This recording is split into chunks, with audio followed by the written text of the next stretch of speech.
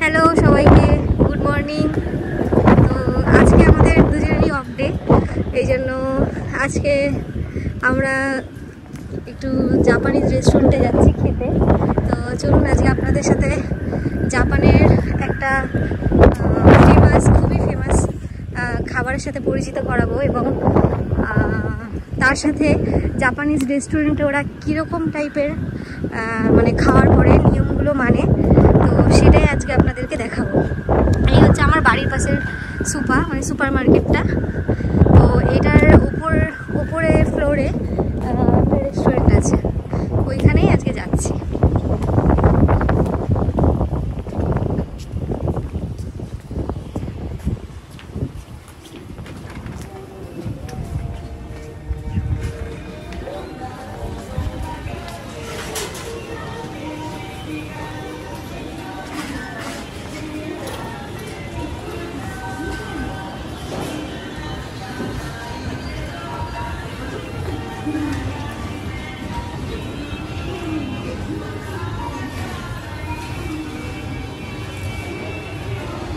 নিচের ফ্লোরটা, এখানে সমস্ত গ্রোসারি আইটেম মাছ, মাংস সব কিছু পাওয়া যায়। আর এই যে উপরে উপরে হচ্ছে জুতো জামা কাপড় এইসব, আর হচ্ছে রেস্টুরেন্টটা আছে।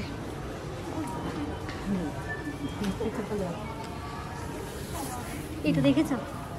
কি দারুণ করেছে এটা মনে হয় হ্যান্ডক্রাফট তো ওপরে হয়তো সিজন অনুযায়ী এগুলো আসে।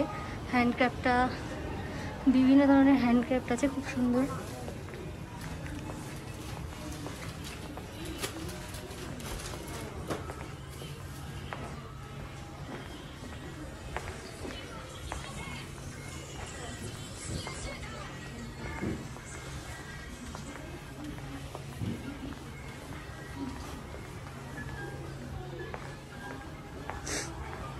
চলো সামনে।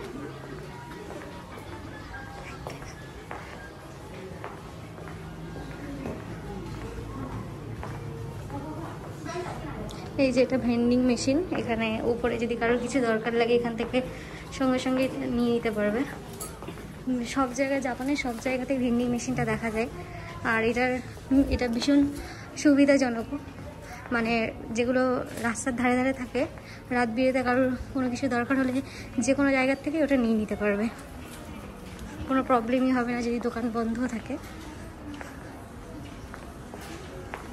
এই যে আর কিছুক্ষণের মধ্যেই চলে এসছি। প্রায় চলে এসেছি আমরা। এটা একটা একশো টাকার দোকান। এখানে সমস্ত জিনিস একশো ট্যাক্স দিয়ে একশো দশ টাকাতে পাওয়া যায়। এখানে কী হচ্ছে দেখো হ্যাঁ? এক্সিবিশন নাকি? তো এখানে বিভিন্ন সময় কিছু না কিছু দেখাই যায়।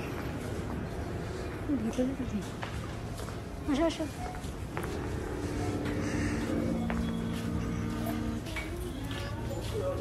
এই যে, এখানে একটা ফুলের দোকান। এখানে বিভিন্ন টাইপের রোজ দেখা যায়। এই যে অবশ্যই আমরা চলে এসেছি, আমাদের গন্তব্যস্থল রেস্টুরেন্টটাতে। যাও, আমি যাচ্ছি। তো এই যে এই কয়েকটা বেশি খাবার নেই আইটেম এই কয়েকটা মেন কোর্সের এই কয়েকটাই আইটেম আছে। তো চলুন ভেতরে ঢোকা যাক, দেখা যাক।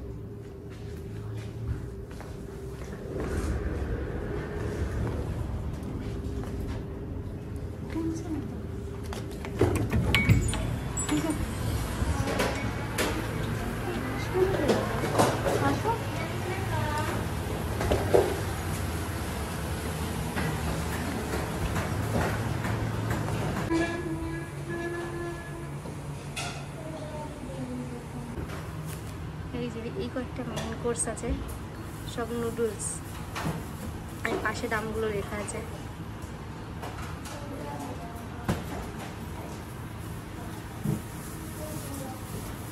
কি খাব আমি বুঝি না। কোনটা নেবা তুমি? কি নেবা দেখ। আগের দিন এসে আমি একটা খেয়েছিলাম না? কোনটা খেয়েছি না আমি খাব।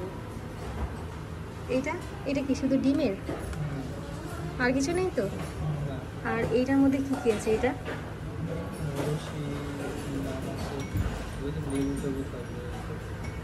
আর এইটা?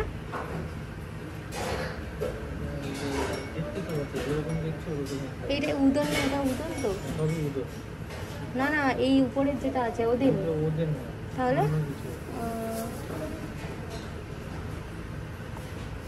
ফাইনালি আমরা ডিসাইড করলাম, আমি এটা খাব আর ও এটা খাবে।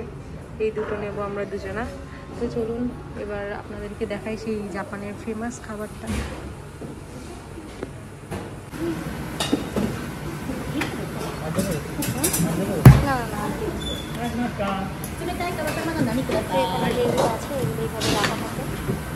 এর মধ্যে দিয়ে আমাদের এগুলো নিতে পারব আমি কিছু দেখতে হবে হ্যাঁ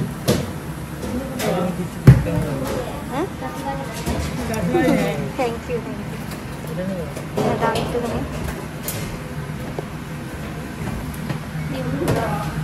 তো এই যে সেই ফেমাস খাবার যেটা জাপানে খুবই ফেমাস আর আমারও ভীষণই ফেভারিট একটা ডিশ মানে টেম্পুরা এটা জাপানের ভীষণ ফেমাস এটা কীভাবে তৈরি করা হবে?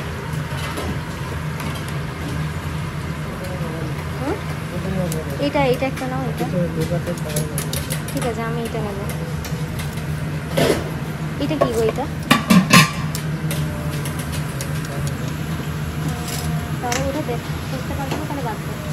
আমি আর একটা একটা এবি এটা টেম্পুরা চিংড়ি একটা নাও। এইটা কি গো এই পাশে এটা? ওটা কি কুমড়ো? কুমড়ো নিচ্ছে একটা। ওইটা কী ছিল ওই যে মোমোর মধ্যে ডাম্পলিংটা হ্যাঁ? ওইটা। বাবা, তাহলে একটা এই চিংড়ির একটা দাও।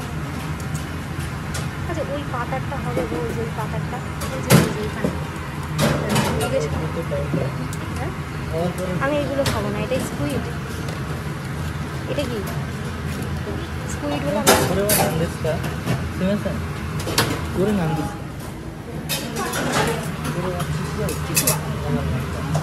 আমি ওটা খাব না। একটা এটা এই বেগুন।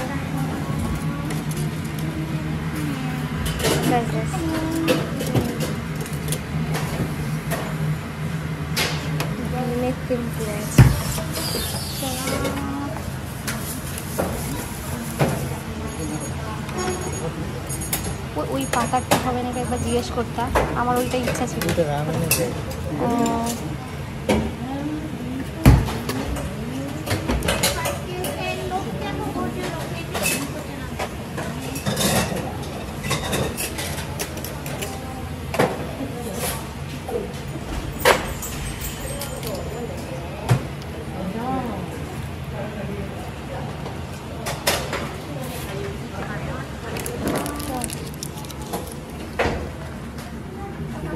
নিতে হবে না একটা দুটো হ্যাঁ? নিতে পারব। তো এই হচ্ছে খাবার। এটা ডিমটা গলা গলা? হ্যাঁ? আমি চপস্টিক দিয়ে খেতে পারি না ও চপস্টিক দিয়ে খাই এই